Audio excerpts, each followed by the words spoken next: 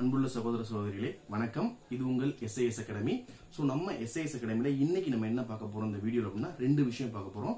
மாணவர்கள் ரொம்பவே எதிர்பார்ப்புடன் கேட்டுட்டே இருக்க விஷயம் என்ன அப்படின்னா நியூ புக்ல இருக்க புக் பேக் கொஸ்டின்ஸ் எல்லாம் வேணும் அப்படின்னு கேட்டுட்டு இருக்கீங்க. முதல் விஷயம். ரெண்டாவது வந்து பாத்தீங்கன்னா இந்த வீடியோல பிற்பகுதியில வந்து பாத்தீங்கன்னா எதிர்பார்ப்பில்லா அர்ப்பணிப்பு அப்படின்னு ஒரு குட்டி ஸ்டோரியை நம்ம இந்த வீடியோல பார்க்க போறோம். இந்த ரெண்டு விஷயம் தான் இந்த வீடியோல. முதல் விஷயம் வந்து பாத்தீங்கன்னா புக் பேக் கொஸ்டின்ஸ்க்கு தீர்வுன்னு சொன்னீங்களே என்ன சார் பண்ண போறீங்க அப்படின்னு கேட்டுட்டு இருந்தீங்க. ஸோ நியூ புக்கை பொறுத்த வரைக்கும் நம்ம ஆல்ரெடி நியூ புக்கில் என்னென்ன படங்கள்லாம் படிக்கணும் அப்படின்னு சொல்லி ஒரு அனாலிசிஸ் போட்டு அதை வந்து ஒவ்வொரு வீடியோவாக கொடுத்துட்டு வந்திருக்கோம். அது மாணவருக்கு ரொம்ப பயனுள்ளதாக இருந்தது. அதுக்கப்புறம் ஒரு குட்டி பிரேக் விட்டோம். எதுக்காக அப்படின்னா இதுக்கப்புறம் வந்து அந்த புக் பேக் கொஸ்டின்ஸ் எல்லாத்தையுமே பக்காவாக அனாலிசிஸ் பண்ணி எடுத்து கொடுக்கணும் அப்படின்னு சொல்லியிருந்தோம். லாஸ்ட் வீடியோவில் கூட அருண் சார் சொல்லியிருந்தாரு. ஸோ அந்த மாதிரி பிளான் பண்ணி பக்காவாக எடுத்துட்டு இருக்கோம். அதுவும் இந்த சூழ்நிலை வந்து பார்த்தீங்கன்னா நிறைய மாணவர்கள் வந்து வீட்டிலேயே இருந்து படிக்கிறமா ஒரு சூழ்நிலையும் இருக்கு. அந்த டயத்தில் நம்ம இதை கொடுத்தோம்னா இன்னமும் ஹெல்ப்ஃபுல்லாக இருக்கும் அப்படின்னு சொல்லி நம்ம கொடுத்துட்டு இருக்கோம். சரிங்களா? ஸோ அந்த புக் பேக் கொஸ்டின்ஸ்க்கான தீர்வு என்ன அப்படின்னா உங்களுக்கு வந்து பாத்தீங்கன்னா அலாரம் டெஸ்ட் அப்படின்னு சொல்லிட்டு ஒரு சீரிஸ் கண்டக்ட் பண்ணலாம்னு இருக்கோம். ஸோ புக் பேக் கொஸ்டின் சொல்லிட்டு கொடுத்துட்டு இந்தாங்க டவுன்லோட் பண்ணிக்கோங்க. நீங்களே படிச்சுக்கோங்க. அந்த ஆன்சர் தான் வச்சுக்கோங்கன்னு சொல்லிட்டு போறதை விட அந்த இதுக்கு கொஞ்சம் கைடன்ஸ் பிளஸ் ப்ராக்டிஸ் கொடுத்தா நல்லா இருக்கும் அப்படின்னு சொல்லி நம்ம டீம்ல இருக்க எல்லாருமே சொன்னாங்க. இதுக்காக நம்ம டீம் வந்து பார்த்தீங்கன்னா பயங்கர நல்ல எஃபோர்ட் போட்டுருக்காங்க. அந்த எஃபோர்ட் வந்து பாத்தீங்கன்னா நீங்க டெஸ்ட் எழுதி பார்க்கும்போது உங்களுக்கு கண்டிப்பா தெரியும். சரிங்களா? சரிங்க. ஸோ இது எப்படி நடக்கும் அப்படின்னா அலாம் டெஸ்ட் வந்து பார்த்தீங்கன்னா டெய்லியும் காலையில் ஏழு மணிக்கு வந்து பார்த்தீங்கன்னா உங்களுக்கு மெட்டீரியல் மெட்டீரியலுக்குரிய அந்த புத்தகத்தில் இருக்க புக் பேக் கொஸ்டின்ஸ் எல்லாத்தையுமே வந்து பார்த்தீங்கன்னா உங்களுக்கு பிடிஎஃப் கொடுத்துருவோம். அந்த நாள் ஃபுல்லாக நீங்கள் எடுத்துக்கலாம். படிச்சுட்டு அதுக்கான டெஸ்ட் நீங்க எழுதி பார்த்துக்கலாம். சரிங்களா? நீங்க ஓயமா ஷீட் வச்சிருக்கீங்க சார் நான் மாடலுக்கு அப்படின்னா அதுல எழுதி பார்த்துக்கலாம். இல்ல ஒரு ஒயிட் பேப்பர் எடுத்துட்டு அதுல நீங்க ஆன்சர்ஸை எழுதி பக்கா வச்சுக்கலாம். அன்று மாலை வந்து பாத்தீங்கன்னா உங்களுக்கு அதுக்கான ஆன்சர் கீ வெளியிடப்படும். சரிங்களா? சோ அந்த ஆன்சர் கீயோட வந்து பாத்தீங்கன்னா நம்ம டிஸ்கஸ் பண்ண போறோம். இப்போ எக்ஸாம்பிள் வந்து பாத்தீங்கன்னா ஃபர்ஸ்ட் என்ன சப்ஜெக்ட் சார் ஆரம்பிக்க போறீங்கன்னா நம்ம ஆல்ரெடி வந்து ஹிஸ்டரி இதெல்லாம் வந்து நிறைய பார்த்துட்டே வந்திருக்கோம். சோ இந்த அலாம் டெஸ்ட் ஆரம்பிக்க போறது வந்து பாத்தீங்கன்னா சயின்ஸ் சயின்ஸ்லயும் பிசிக்ஸ்ல இருந்து நம்ம ஆரம்பிக்க போறோம். சோ பிசிக்ஸ்ல ஒவ்வொரு டாபிக்கா வந்து பாத்தீங்கன்னா ஒரு நாள் ஒவ்வொரு நாளும் ஒவ்வொரு டாபிக் வரும். அதற்கான காலையில வந்து என்னென்ன புத்தகங்கள் படிக்கணும் அதுக்கான மெட்டீரியல் கொடுத்துருவோம். அந்த மெட்டீரியல் நீங்க டவுன்லோட் பண்ணி படிச்சுட்டு கொஸ்டின் பேப்பர் உங்களுக்கு காலையில ஏழு மணிக்கு வந்துடும் சரிங்களா? அந்த இதை நீங்க டவுன்லோட் பண்ணி எழுதுனதுக்கு அப்புறம் அந்த ஆன்சர் கீ வந்து ஈவினிங் வந்து நம்ம டிஸ்கஸ் பண்ண போறோம். இது எப்படி எடுத்திருக்காங்க அப்படின்னு. சோ எனக்கு தெரிஞ்ச பிசிக்ஸ்ல ஃபர்ஸ்ட் டாபிக் வந்து பாத்தீங்கன்னா பேரண்டம் யூனிவர்ஸ்ல வந்து நம்ம பார்க்க போறோம்னு நினைக்கிறேன். சோ அதுக்கான இது வந்து உங்களுக்கு வரும் புதன்கிழமை காலையில வந்து பாத்தீங்கன்னா ஆரம்பிச்சிடும் சோ ஒவ்வொரு நாளும் ஒவ்வொரு டாபிக்கான தலைப்பு அதோடைய மெட்டீரியல் அதோட டெஸ்ட் வந்து காலையில ஏழு மணிக்கு உங்களுக்கு வந்துடும் அலாம் டெஸ்டா இரவு அதே மாதிரி மாலை ஆறு மணிக்கு வந்து பாத்தீங்கன்னா அதற்குரிய ஆன்சர் கீ பிளஸ் டிஸ்கஷன் வந்து நடக்கும். சோ இந்த மாதிரி ஒவ்வொரு டாபிக்கா பண்ண போறோம். பிசிக்ஸை பொறுத்த வரைக்கும் ஏழு டாபிக் இருக்கு. முதல் ஏழு நாட்கள் பிசிக்ஸ் அடுத்து ஒவ்வொன்றா நம்ம கவர் பண்ணிட்டு போயிடுவோம். இது படி வந்து பாத்தீங்கன்னா உங்களுக்கு கால்ஃபேர் வந்து வந்து எக்ஸாமுக்குள்ள எல்லா புக் பேக் கொஸ்டின்ஸையும் நீங்க எப்படி படிக்கிறீங்க நீங்க ஆல்ரெடி ஒரு ஷெட்யூல் போட்டிருப்பீங்க. அந்த ஷெடியூல பேஸ் பண்ணி நீங்க படிச்சுக்கிட்டே போயிட்டே இருப்பீங்க. அது இல்லாம எக்ஸ்ட்ரா வந்து பாத்தீங்கன்னா புக் பேக் கொஸ்டின்ஸும் போய்கிட்டே இருக்கும். இதுல ஒரு முக்கியமான விஷயம் என்ன அப்படின்னு பாத்தீங்கன்னா ஒரு டாபிக் எடுத்துக்கிட்டீங்கன்னா அதுலயே புக் பேக் கொஸ்டின்ஸ் அதாவது புது புக்ல அந்த கொஸ்டின்ஸ் மட்டும் கிட்டத்தட்ட நாற்பதுக்கு மேல இருக்குங்க. அப்படிங்கிறப்ப நம்பர் ஆஃப் கொஸ்டின்ஸ் எடுத்து பாருங்களேன். ஏழு டாபிக் நாற்பது கொஸ்டின் மினிமம் வச்சா கூட உங்களுக்கு இருநூறு கொஸ்டின்ஸ்க்கு மேல கொஸ்டின்ஸ் உங்களுக்கு கிடைக்குது.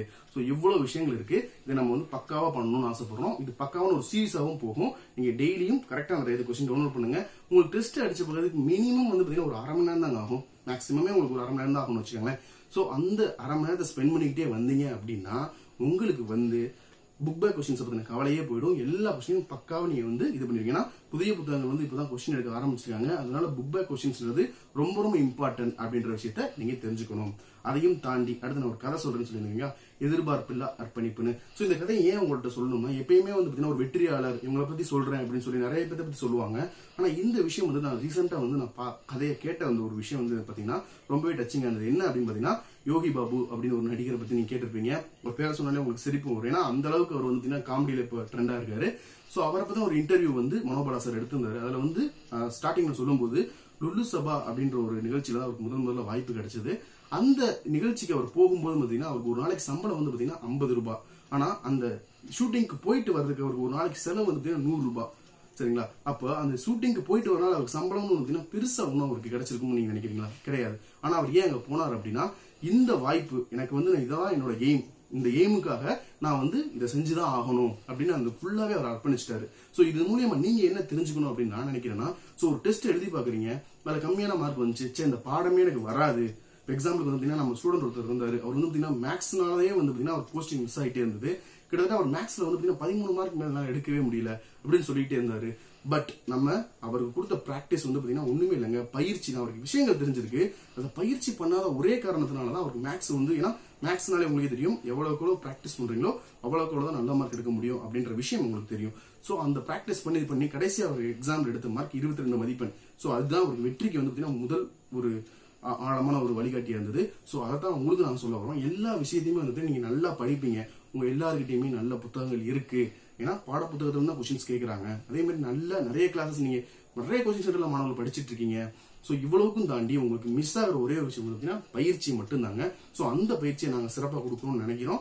சோ இப்போ கரண்டா வந்து பாத்தீங்கன்னா ஒவ்வொன்றுக்கா டெஸ்ட் வச்சுட்டு இருக்கோம். இப்போ நம்ம ஸ்டார்ட் பண்ணிருக்கதே மூணு விஷயம் தான். அந்த மூணு விஷயம் வந்து பாத்தீங்கன்னா டிஎன்பிஎஸ்சிக்கு படிக்கிற மாணவர்களுக்கு அதுதான் வந்து நிறைய மாணவர்களுக்கு வந்து பாத்தீங்கன்னா ஒரு டிராபேக்கா இருக்கும். என்னன்னு பாத்தீங்கன்னா maths science and current affairs so current அஃபேர்ஸ்க்கு already வந்து சீரிஸ் ஆரம்பிச்சிட்டோம். ஜனவரி மாதத்துக்கு டெஸ்ட் முடிஞ்சிருக்கு. மாணவர்கள் சூப்பரா எழுதியிருக்காங்க.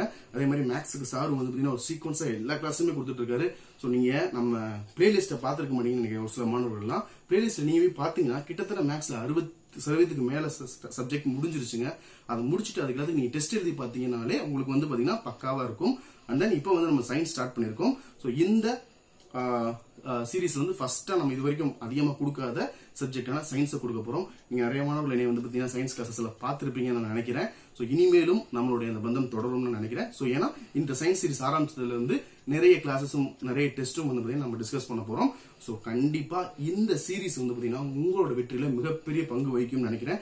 அது மட்டும் இல்லாம நீங்க ஒரு படி முன்னேறினீங்க அப்படின்னா உங்களுக்கு பின்னாடி இருக்கவங்களுக்கு கை கொடுத்து அவங்கள ஒரு படி நீங்க மேலே ஏற்றி விடணும். அப்படிங்கிறது உங்க எல்லாத்துக்குமே தெரிஞ்சதுதான். ஸோ உங்களை போல படிச்சிட்டு இருக்க எல்லா மாணவர்களுக்குமே நீங்க இதை யூஸ் பண்ணுங்க.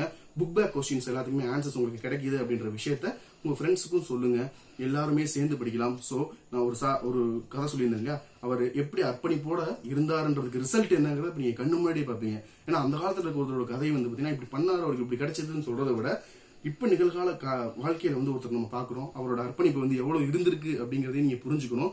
சோ அந்த லெவலுக்கு நம்ம அர்ப்பணிப்பு பண்ணாதான் இப்ப இருக்க போட்டியான சூழ்நிலையில வந்து நம்ம ஜெயிக்க முடியுங்க. சோ இந்த சீரிஸ் அதாவது அலாம் டெஸ்ட் அப்படிங்கிற சீரிஸ் மூலமா நீங்க வெற்றியை கண்டிப்பா பெறுவீங்க நான் நம்புறேன்.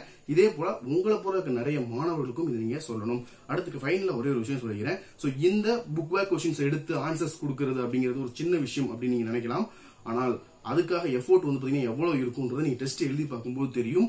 அதுக்கு நம்ம ஸ்மச்சிவஸ் டீம் மெம்பர்ஸ் அதாவது இப்போ புதுசா வந்து பாத்தீங்கன்னா நிறைய ஸ்மச்சிவஸ் டீம் மெம்பர்ஸ் ஜாயின் பண்ணிருக்கீங்க உங்க எல்லாத்துக்குமே வந்து இந்த இடத்துல நான் நன்றியை தெரிவிச்சுக்கிறேன். சோ மாணவர்களா மட்டும் இல்லாம பிற மாணவர்களும் நல்லா படிக்கணும் அப்படின்னு நீங்க நிறைய பேர் எஃபோர்ட் போட்டுக்கிட்டு இருக்கீங்க. உங்க எல்லாரோட எஃபோர்ட்டுக்குமே கண்டிப்பா பலன் இருக்கும்.